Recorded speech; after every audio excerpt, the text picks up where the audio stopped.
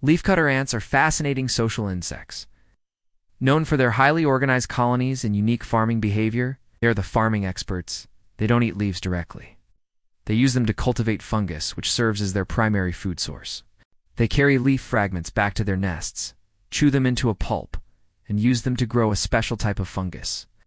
In a few years, their well-organized colonies can grow millions of individuals, divided into different castes and division of labor.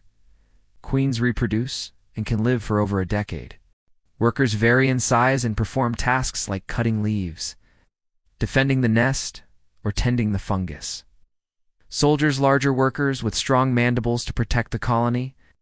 The superficient foraging create well-organized trails to vegetation, sometimes stripping entire trees of leaves. Workers can carry leaf pieces 50 times their own weight. Their underground meganests can span hundreds of square meters with chambers for fungus gardens, waste disposal, and brood care. Some nests have specialized ventilation systems to regulate humidity for the fungus. They depend on their cultivated fungus for food, while the fungus relies on the ants for propagation. Some species have a mutualistic relationship with bacteria that produce antibiotics to protect the fungus from harmful molds. In some regions, they are considered pests because they can defoliate crops like citrus, coffee, and eucalyptus. Some Atta species are capable of defoliating an entire citrus tree in less than 24 hours. The soldier ants have powerful mandibles that can deliver a painful bite.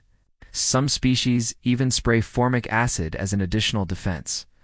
They thrive in tropical and subtropical regions, from the southern U.S. to Argentina. Leafcutter ants are a prime example of advanced social organization in insects. Showcasing agriculture, caste systems, and complex nest engineering millions of years before humans.